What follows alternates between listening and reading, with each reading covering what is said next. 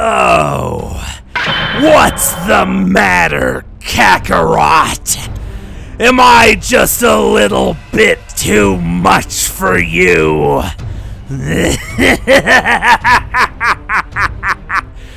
Come now.